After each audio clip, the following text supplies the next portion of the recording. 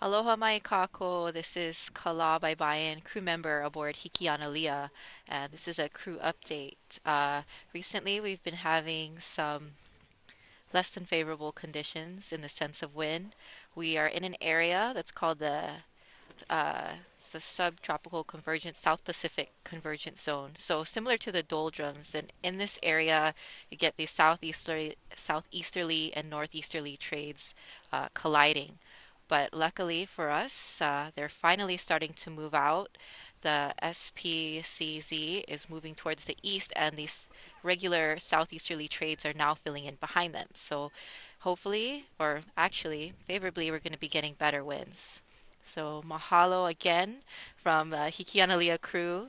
Uh, thank you for what you do in your community to Malama Honua, and you can continue to track and follow us at www.hokulea.com. Aloha.